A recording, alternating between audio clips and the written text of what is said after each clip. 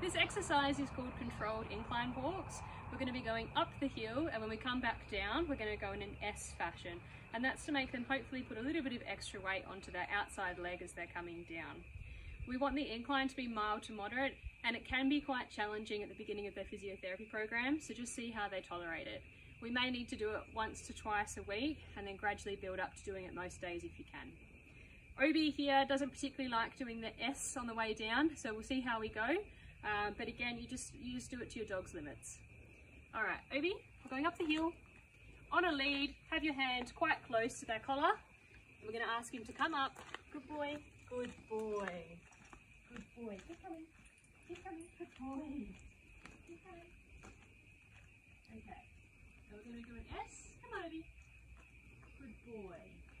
And then this way, good boy. And then over this side. Back around. Good boy.